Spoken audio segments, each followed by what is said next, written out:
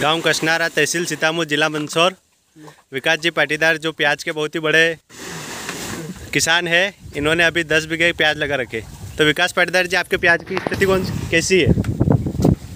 Please किसानों को बताइए, आप प्याज में कौन सी दवा स्प्रे कर रहे हैं?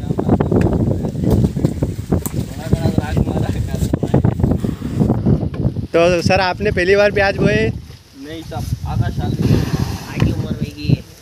ये नितेश जी पाटीदार भी जो गुजरात प्याज की खेती करते हैं इस बार यहाँ पे आए हैं। ये वाकड़िया तो विकास जी आपने कितनी बार दवाई का स्प्रे किया? पाँच बार। कितना खर्चा हुआ आपके? पाँच हज़ार। एक बार का? तो मतलब पच्चीस हज़ार की आपने दवाई की स्प्रे कर दी। फिर आपको क्या प्याज में सुधार हुआ कि नहीं हुआ?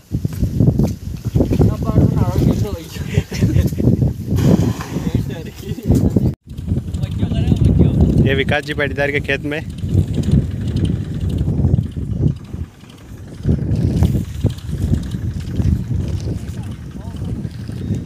दवाई का स्प्रे हो रहा है। विकास जी पाटीदार, गाँव कशनारा।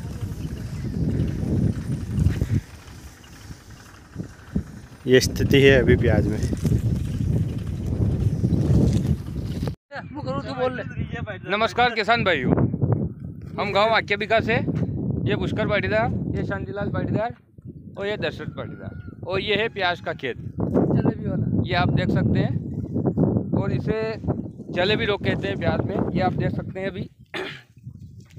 ये हालत हो गई प्याज की। इसका कोई तोड़ नहीं है। ये यहाँ पर हमने तीन तीन स्प्रे कर चुका हूँ मैं।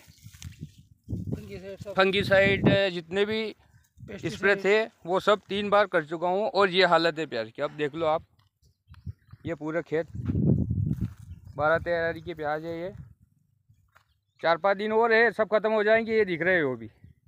बीमारी बढ़ने लगी इसमें ये जलेबी रोग है। दवा का कोई किसान भाइयों से मैं बोलना चाहता हूँ कि जो भी जलेबी रोग की बीमारी है कृपया पैसे न बिगाड़े और ये फालतू के स्प्रे बंद कर दे। अपने पास जितने पैसे हैं वो दूसरा काम में लगाए। ये जलेबी रोग की कोई दवा बनी ही नहीं और ये ठीक नहीं होंगे। ये आप देख सकते हैं मेरे पूरे खेत में ये हालत है। और ये दर्शत पाटीदार ये भी दवाई लेके आया था ये भी आया था मैं वापस करने जा रहा हूँ। दो हज़ार की दवाई लाया था मैं एक एक बीघे में। वापस करने का मन टाटा का प्रोडक्ट और ये पुष्कर पाटीदार ने भी स्प्रे किया है? कर दिया तीन हज़ार का लेकिन कुछ नहीं हुआ। तीन हज़ार के तीन स्प्रे हुए। और शांतिलाल ने भी स्प्रे किया है? सत्ताईस रुपये का स्प्रे कर दिया है कुछ फ़ायदा नहीं मिला।